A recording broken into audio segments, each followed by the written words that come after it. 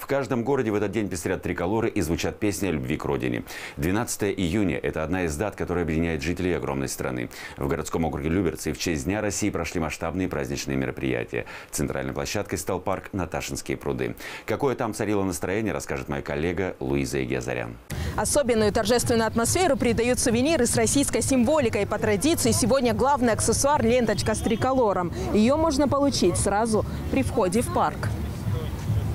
Каждый год у волонтеров городского округа Люберцы этот день начинается именно так. Молодые люди делятся патриотическим настроением со всеми, кто присоединился к массовому празднованию. На этот раз приготовили более 500 ленточек. Их разобрали за несколько минут. Для меня Россия – это в первую очередь родина, в которой я вырос, в которой я живу, в которой я буду жить. Символ России, цвет нашего, цвета нашего флага. Поэтому очень дорого, конечно. Мы патриоты России. Главное украшение есть, теперь можно идти к сцене. Там уже выступают творческие коллективы городского округа Люберцы. Официальная часть концерта началась с главной песни страны.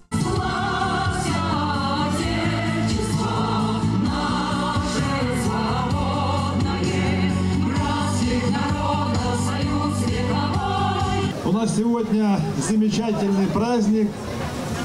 По сути, день рождения нашей большой страны под названием Россия.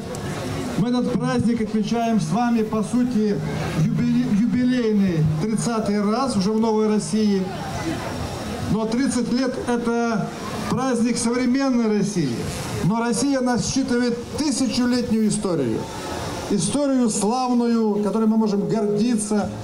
Одна из традиций этого праздника – торжественно вручать паспорта юным гражданам страны. Новый статус и первый взрослый документ получили 10 подростков. Еще 10 детей официально вступили в ряды волонтеров. Знаковым этот день стал и для Дениса и Екатерины Федорущенко. Молодая пара решила узаконить свои отношения именно 12 июня. И по доброй свадебной традиции Екатерина готова передать эстафету молодым девушкам и бросить свой букет вам. Раз! Два, три. Я очень счастлива, но, конечно, еще рановато, но уже, в принципе, можно.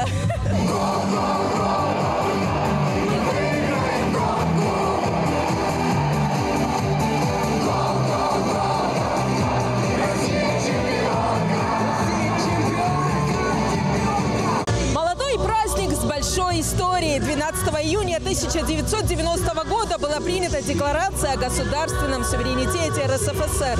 С этого документа начался отчет новой истории России. Сегодня этот праздник приобретает все более патриотические черты и становится символом национального единства. Луиза Игазаря, Сергей Гвоздев, Петр Пономаренко. Телеканал ЛРТ.